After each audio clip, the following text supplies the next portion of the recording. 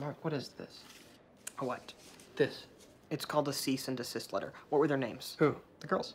When did you get this? About 10 days ago, right after we launched the site. Jesus Christ. Hey, the girls. What were their names? They're saying the Winklevoss twins are saying that you stole their idea. I find that to be a little more than mildly annoying. Oh, well, they find it to be intellectual property theft. Look, why didn't you show this to me? It was addressed to me. They're saying that we stole the Facebook from Divya Narendra and the Winklevoss. I know what it says. Did we? Did we what? Don't screw around with me now. Look at me.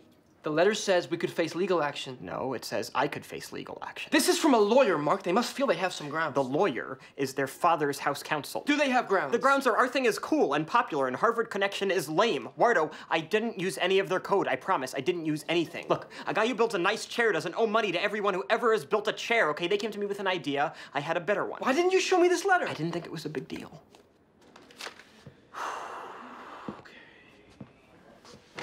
If there's something wrong, if there's ever anything wrong, you can tell me. I'm the guy that wants to help. This is our thing. Now, is there anything that you need to tell me? No.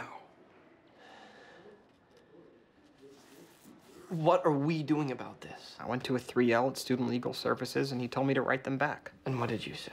When we met in January, I expressed my doubts about the site, where it stood with graphics, how much programming was left that I had not anticipated. The lack of hardware we had to deal with, site use, the lack of promotion that would go on to successfully launch the website. This was the first time you raised any of those concerns, right? I'd raised concerns before. Bullshit. Not to us. Gentlemen, I'm talking about at the meeting in January to which this letter is referring. Yeah.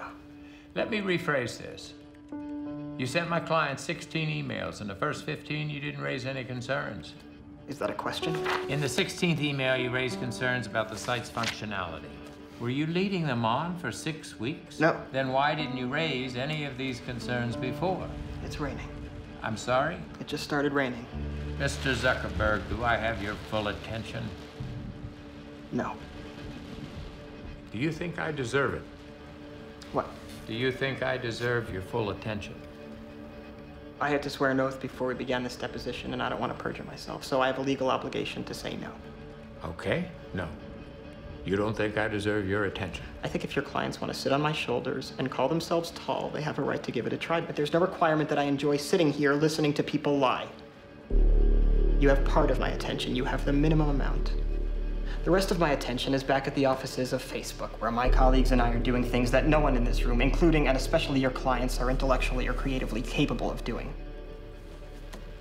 Did I adequately answer your condescending question?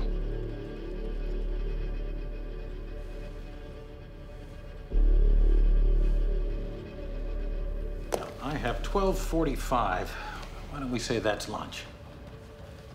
Back at 2.30. So,